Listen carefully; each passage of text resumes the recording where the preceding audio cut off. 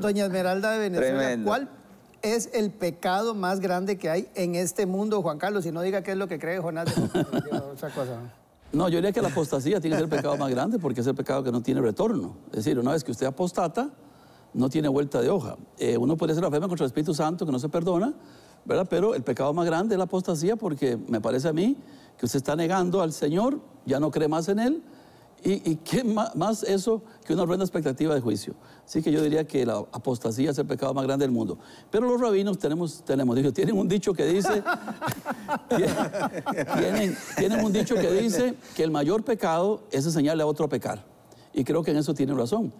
El mayor pecado que yo puedo cometer es cuando no solamente yo peco, sino que le enseño a otro a pecar. Y, eso me parece interesante. Bueno, entonces el, el mayor pecado del mundo entonces es la falta, Correcto. el rechazo a Jesús y la falta de, Sí, sí. de creer en Jesús. Mientras está uno en vida, Dios perdonar, nos perdona, ¿verdad? Es morir sin Cristo, eh, no tiene ningún, ninguna manera de echarse atrás. Jacqueline.